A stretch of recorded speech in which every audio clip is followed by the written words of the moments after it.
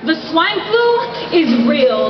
It's an epidemic, and Orwell's Animal Farm has come to life over time, and pigs have taken over.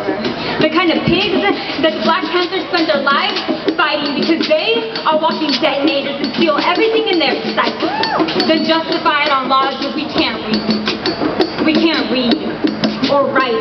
And our boys, all our boys have been taught how to think like soldiers, so they walk around range shooting practice called justice. But justice. Looks nothing. Like our little boys thinking that they are red and blue-fitted Peter Pan, boys who will never be allowed to become men, who have had their shadows snatched from their ankles at birth, replaced with a body bag they carry stitched to their ankles, so that from the moment they can walk, they know that if they slip, they are just falling into their own coffins. And justice looks nothing like women becoming widows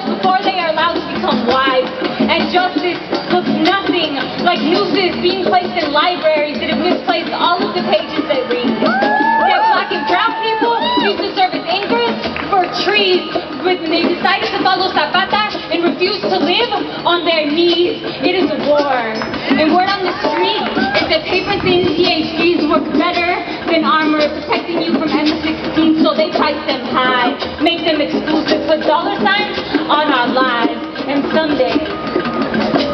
I feel hopeless, so I pray. I pray to fallen angels, brothers. We are sorry that we have failed you, but we are ready to be free now. Please, Oscar, us schools liberation is the golden standard, and young people can learn that they are kings and queens,